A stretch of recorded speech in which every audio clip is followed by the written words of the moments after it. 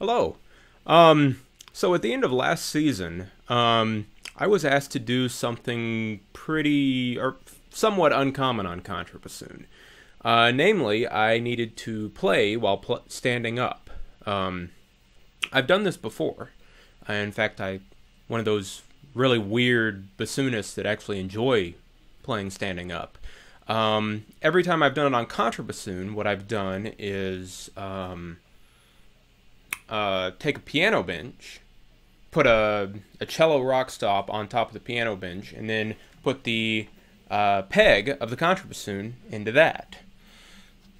Um, but the particular piece we were playing uh, was Michael Daugherty's uh, Hell's Angels for solo uh, bassoon quartet and orchestra.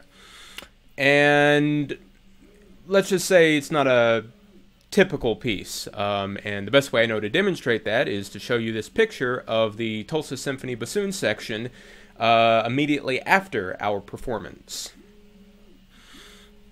So, as you can probably gather, there's a lot of theatricality. Um, the piece actually begins with the four bassoonists uh, coming out at, while the piece has already started and yelling at and antagonizing the audience and the orchestra.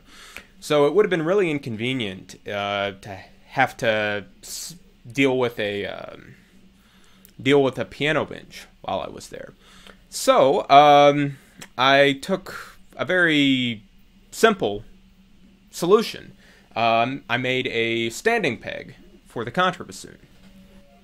So this is just a 5 eighths uh, piece of uh, uh, sorry a piece of 5 8 stainless steel round rod uh, with a a Fox contrabassoon stopper, which is actually just a a, a Walker stopper, um, on one end, and on the other end I machined a uh, 10 millimeter. I machined one end down to 10 millimeters so it would be accepted on the bottom of my Mollenhauer Contra. So here you can see the bottom of my contrabassoon, the standard Mollenhauer um, uh, peg, and the, the new longer standing peg. Now the, the peg I made works a little bit differently from the, the default. The, on the default,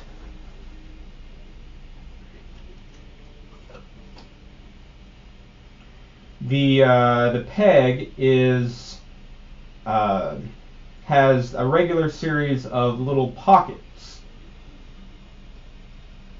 and then there's this screw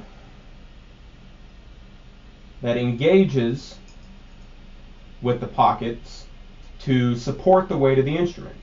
Um, the when you're when you're playing uh, with this peg, the weight of the instrument is uh, supported by these little pockets. Now, for the, the since the standing peg was going to be so long, I didn't want to do that. So instead, what I did was machine a little groove in here. Now the groove doesn't actually support the weight of the instrument. The only thing the groove is there for is to keep the peg from falling out of the instrument when it's in place, when you lift it off the ground. The weight of the instrument is actually supported by this, uh, this shelf here that I machined into the, the piece. And it goes in the bottom just like a normal peg. And then stops. Well,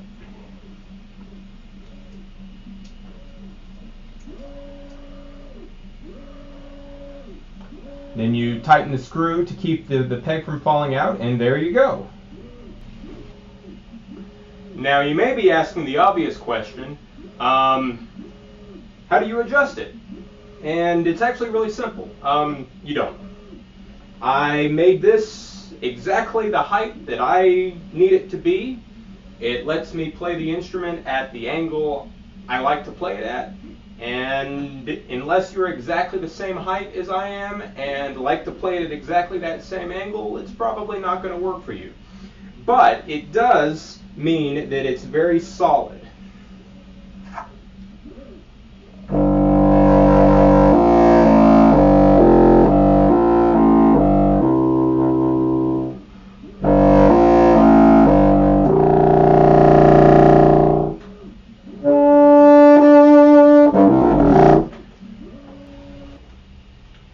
Now it's not perfect. Um, if I were making it again, I would have made it out of half inch stainless steel to save, save weight.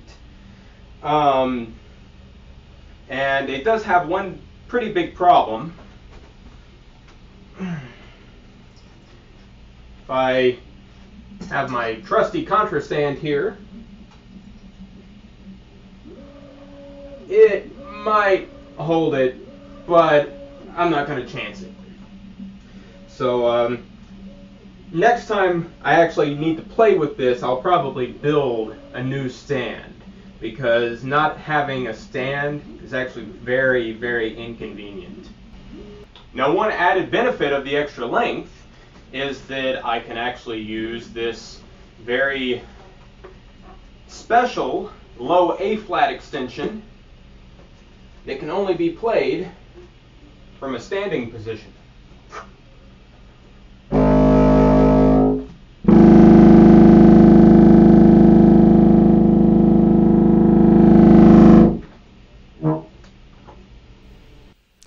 Anyway, I hope you've enjoyed this little video. Um, uh, I know it's been a little while, but I promise there's some more uh, stuff in the works right now. In fact, um, if you've listened, uh, you may have heard uh, one of the things I'm working on in the background. This kind of mechanical mechanical whirring sound. Um, I actually recently bought a 3D uh, printer and I'm not quite ready to uh, share some of the stuff I've been printing, but I, I think you all are going to like enjoy it. Anyway, have a good day.